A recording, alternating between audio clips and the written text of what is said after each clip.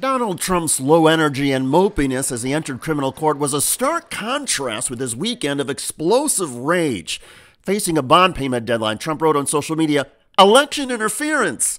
And through hard work, talent, and luck, I currently have almost $500 million in cash, a substantial amount of which I intended to use in my campaign for president. I mean, that is the dumbest thing he could have possibly done to put that on Truth Social, because that is a direct admission by him that he has the money.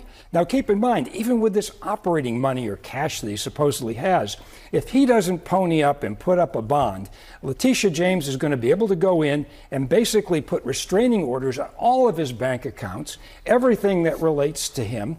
And all of that money is going to be tied up and frozen. So if he's really got that money, he's got to put it up. I would also just point out the stupidity of Donald Trump saying today that he actually has the money. He, I mean, one way or the other, somebody is lying. In other words, Trump either lied to the court when he claimed he could not pay the half a billion dollar bond, or he lied on Truth Social when he bragged about having the money and said he wanted to spend it on the campaign. Now, most of you probably assume Trump was lying on social media, and I think you're right. But for Donald Trump to have to admit to a court or anybody that he lied in his social media posting, well, that's kind of embarrassing. And it explains Donald Trump's mopey, dejected tone to start the week. Even Donald Trump's son Eric, long depicted as the slowest of the Trump children, now seems to understand the credibility problems facing his father and how it impacts the groups that might consider issuing a bond. Every single person, when I came to them saying, hey, can I get a half billion dollar bond? Maria, they were laughing. They were laughing. Yeah. Top executives of the largest surety companies Top executives of the largest surety companies were laughing at Eric Trump. Eric added that what his father is facing is unprecedented. Putting up a half a billion dollar bond. Bonds that size don't exist in this country. A $10 million bond is a large bond. A $15 million bond is an enormous bond. A half a billion dollar bond, a bond that's not even commercially available in the United States is This- not. is it- it- no one's ever seen a bond th- this size. Every single person, when I came to them saying, hey, can I get a half billion dollar bond? Maria, they were laughing. Well, as some of you can attest, there was much laughter the very next hour on Fox News when the claims of Eric Trump and Maria Bartiromo about the bond being unprecedented got torpedoed by an actual and rare Fox News journalist. We've also heard there's a lot of uh, talk about this is unprecedented amount of money. This has never happened before, but that's actually not true. Let's take a look. This is from Letitia James, the Attorney General's own court papers. I'm going to show it to you right now. There have been bigger bonds i- i- in the history. Look, from $1 billion to $1.5 billion, that was a Carnegie Mellon uh, patent case. Those are public companies.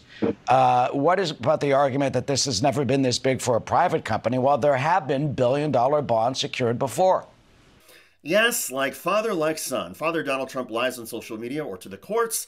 Son Eric Trump lies to Maria Bartiromo, who, of course, doesn't have the brain power or desire to ever call out any Trump whoppers.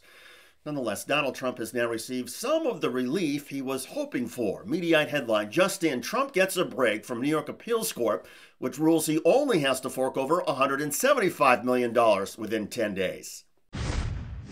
All right, this just into the newsroom. A partial victory for former President Donald Trump. A New York appeals court has agreed to hold off on collection of former President Trump's $454 million civil fraud judgment if he puts up $175 million within 10 days. And if he does that, it will stop the clock on collection and prevent the state from seizing his assets while he appeals. This development just came down before New York Attorney General Letitia James was expected to initiate the efforts to collect the judgment on that bond payment, which would have included seizing some of his uh, gems of his real estate asset and fortune.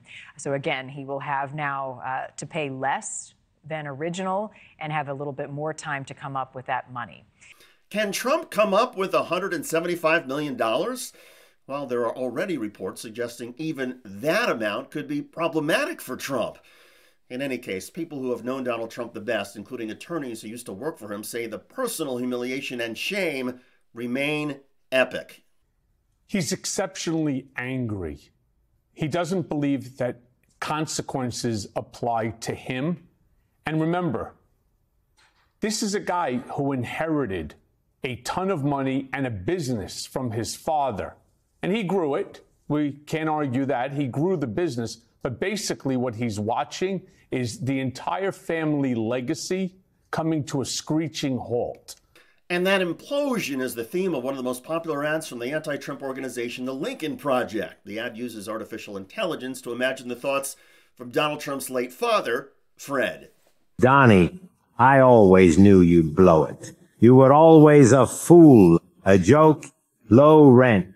I bailed you out so many times. Your deals were all garbage. You couldn't even make money off a casino, you f up. I'm ashamed you have my name. Everyone knows why the women leave you. You're boring, broke. And I told you not to get fat. You pay porn stars and you're weak down there. Your kids hate you, especially the girl. How did a son of mine turn out so damn dumb? The brand I built is crap because of you. You're trash. You'll be lucky to stay out of jail. I may have lost my mind, but I never lost my business. I've been dead 30 years, and I'm still ashamed of you. Mm, shame. That is a brutal adjective to apply. Still, it will get even worse for Donald Trump if the New York Attorney General starts seizing his assets. And there's no guarantee Trump will be able to meet his obligations even under the newly reduced amount. However, amidst all the uncertainty, there is one thing we can all count on. Donald Trump, with his narcissism and lies, will keep digging his financial grave even deeper. By the way, Donald Trump keeps erupting at Ron DeSantis in the wake of the Florida governor ordering the release of sealed Jeffrey Epstein grand jury documents. We hit this guy so hard, by the time he announced, nobody knew what the hell happened. They said, What happened to him? He's a shell of the man. In Ohio, Donald Trump boasted about crushing former presidential rival Ron DeSantis and compared the Florida governor to terrorists. So I hit him hard. I hit him low. I hit him high, just like we did to ISIS. We hit them hard. A week earlier in Georgia, Trump ridiculed DeSantis and his supporters. You know, people that were with DeSanctimonious, they were with other people. Well, I'm not going to use that name anymore. It's not respectful. Let's call him Ron DeSantis. But recently, Governor DeSantis signs legislation to authorize release of Jeffrey Epstein grand jury documents. Uh, that law will become effective on July 1st finally the public is going to be able to get answers. And so now we're going to get more facts. And how is it, Sean, when you have so many people involved? You have one person now, Ghislaine Maxwell, who's in who's in federal prison. Nobody else uh, has been held accountable since Epstein's death. And, and, I think everybody knows that, that that is not right, and there's no way that nobody else was involved in this criminal activity. By many accounts, one of the highest profile public figures connected to Jeffrey Epstein was Donald Trump. They partied together, traveled together, and spent time at each other's vacation mansions. Mm, check out that video at the link below. I'm David Shuster. Thanks for joining us.